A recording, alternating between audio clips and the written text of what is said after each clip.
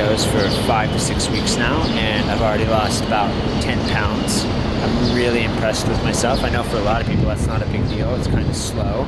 But for me, speaking that I always like to eat food that's kind of not healthy, I'm actually really impressed with myself for cutting back, you know, the junk food and the candy and things like that. So I've lost 10 pounds and I've gone more than 30 days without eating junk food. So that means tonight is the night when I'm gonna buy a ton of junk food and eat it all. No, not really. I wish I could, but now that I've started, I realize that the only way to continue is actually not eat junk food. So I'm gonna actually try and hold off until my birthday, which is on July 21st. So if I make it to that day, I'm gonna be super, super happy because it, that's probably the longest time I've ever gone without eating junk food. So hopefully I can do it. Yeah, so I'm pretty happy. Another weird thing is this what is up with this freaking helmet, man? Like it's ridiculous. Like it always goes like sideways like this. Like I don't know, does it look good? Like I don't get it. Like I, have messed with the lining, I adjust it all the time, and my, my, my helmet naturally goes sideways. So I guess it's time to buy a new helmet. See you guys around.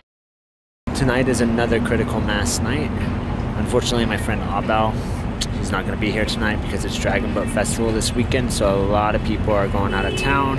So we don't have our cargo bike with the DJ tonight, which is kind of sad. I feel like that bike actually deserves a story. So maybe next time when he brings it, I'll actually talk about it and explain why he has it and why we use it. So it's actually a really cool bike. So today we got here way too early and we're kind of just wasting time until people get here. I think next time we won't come here an hour before we're supposed to meet up because it's just literally us and one other person.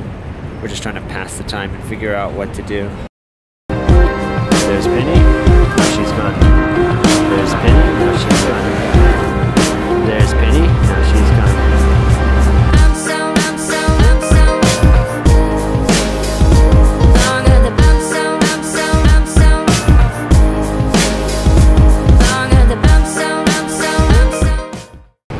I guess because it's a long weekend and a holiday, everyone decided to take the day off, so Critical Mass got canceled. Sucks. So I guess I'll see you guys next month instead.